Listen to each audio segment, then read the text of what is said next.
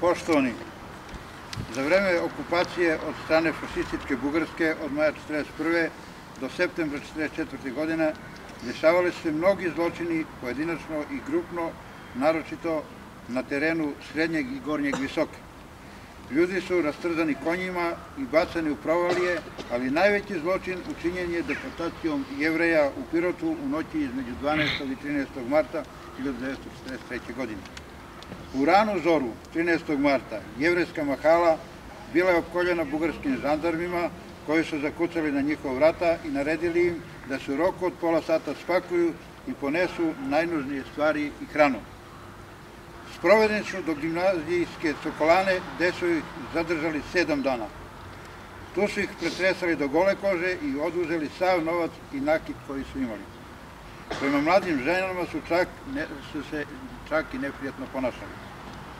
Još prilikom okupacije jevreji su bili obeleženi žutom svetokrakom zvezdom koju su morali da nose. Radnje su im bile zatvorene i roba oduzeta, jer su, oni obično, jer su se oni obično bavili trgovinom i zanatima. Građani Pirota su ih jako poštovali i cenili, čak je došlo i do sklapanja brakova. Sastav deportovanih pirotskih jevreja bio je sledeći. Deca do 4 godine 4, od 4 do 10 godina 12, od 10 do 21 godine 30 i iznad, 12, iznad 21 godine 112 jevreja. Prilikom hapšenja oduzeto je 388.647 leva i mnogo dragocenosti nakita. U Sokolani su im oduzeta još 2000, 21.456 leva, jedan zlatnik Napoleon i 2 grama zlata. Prilikom hapšenja, oslobođeni su tri lekari i jedan apotekar koji su bili još ranije mobilisani od strane Bugara za njihove potrebe.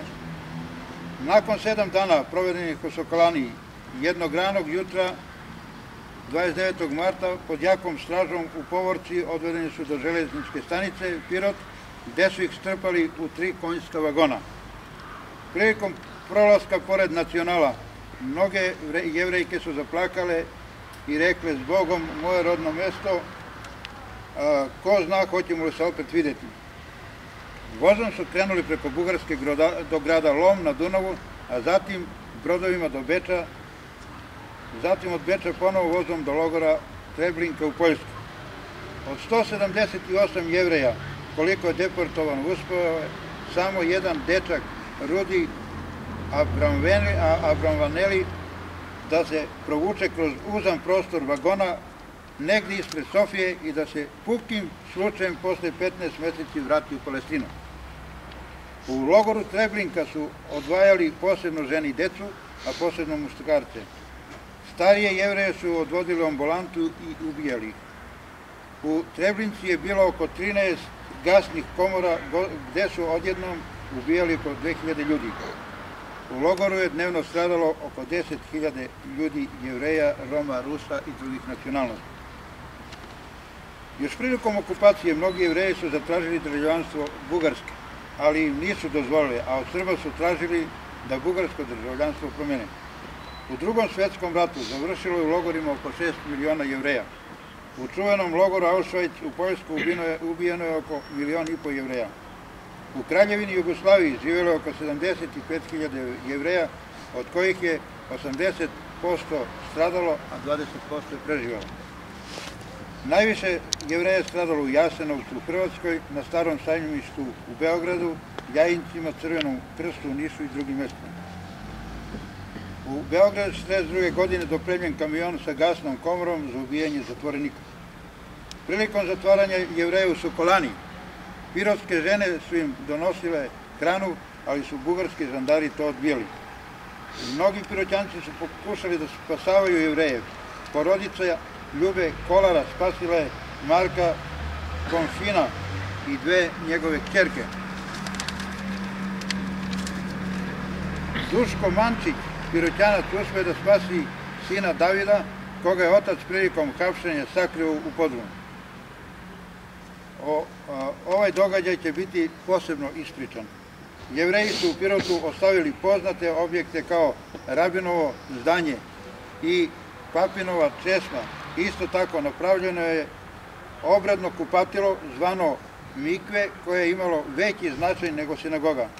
To je jedinstveno obradno kupatilo na Balkanu bez koga se verski život jevreja ne može zamisliti. Ukoliko zajednica bude bez tog kupatila, nije mogla da dobije status jevrijske zajednice. Ostaci ovog kupatila nalaze se preko puta ovog spomenika u Jevrejskoj ulici u Pirotu. Na inicijativu Zavoda za zaštitu spomenika kulture u Nišu i Ministarstva za kulturu Republike Srbije i lokalne samouprave Pirot, bit će ovaj objekat u narednom periodu restauriran. Muzej Ponišavlje Pirot pokušat će da izda drugu knjigu o životu jevreja u Pirotu. Ovaj spomenik bi imao pravu vrednost i značaj ukoliko se urežu na kamenoj ploči imena deportovanih jevreja iz Pirota 1943. godine.